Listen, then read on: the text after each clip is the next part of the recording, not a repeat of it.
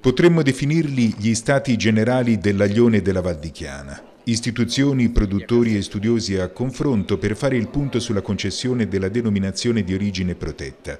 Il titolo dell'incontro è Aglione DOP, l'organizzazione del Circolo Culturale Gino Severini di Cortona, insieme con l'Associazione Produttori e Trasformatori Aglione della Valdichiana, con il patrocinio del Comune. Una giornata molto importante per la valorizzazione di questo importante prodotto tipico del nostro territorio, della nostra Val di Chiana, che comprende quattro province che sono quelle di Arezzo, Siena, una parte di Perugia fino ad arrivare al Ternano, il, vecchio territorio dove scorreva il Clanis. Una riscoperta, quella del Ione, eh, di circa dieci anni fa, è stata riportata alla luce grazie all'impegno di numerosi imprenditori della nostra Val di Cana. La discussione è stata incentrata soprattutto sulla DOP, certificazione che ha avuto parere favorevole dalla Regione e che dopo ulteriori passaggi potrà diventare realtà. Abbiamo lavorato due anni, due anni e mezzo a questo riconoscimento facendo migliaia di pagine di documentazione e la Regione Toscana insieme alla Regione Umbria, perché l'Areale comprende anche alcuni comuni della Regione Umbria, hanno risposto positivamente anche in un tempo brevissimo. Avevano 90 giorni di tempo per rispondere,